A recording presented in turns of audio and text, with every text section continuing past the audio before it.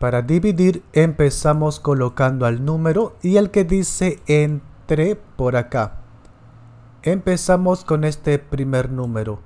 Vemos que es menor que el de adentro, entonces no alcanza, así que juntamos con el otro. Ahora sí ya no es menor. Ahora para llegar a 10, 6 por 2 se pasa, así que por 1, que sale 6 y lo pones así debajo para restar. La resta es 4.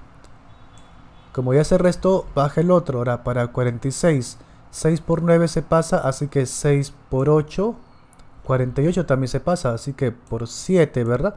6 por 7, 42. Así, restamos y queda 4. Y como ya no hay número que baje y termina, ¿es exacta? No. ¿Por qué no? Si acá al final en el residuo hubiera quedado 0 sería exacta, pero no fue así, quedó 4. Ese es el residuo, el último cociente lo que aparece por acá que sería 17 dividendo es lo que hemos dividido y divisor entre lo que hemos dividido